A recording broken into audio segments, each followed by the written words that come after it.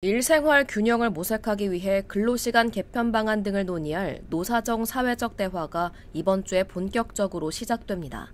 대통령 직속 사회적 대화기구인 경제사회노동위원회는 오는 21일 의제별 위원회인 일생활균형위원회를 발족시키고 1차 전체 회의를 연다고 16일 밝혔습니다.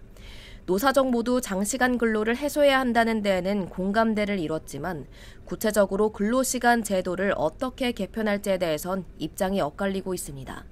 경영계는 기본적으로 기업들이 현재 주 52시간 근무제를 더 유연하게 운영할 수 있어야 한다고 주장하고 있습니다.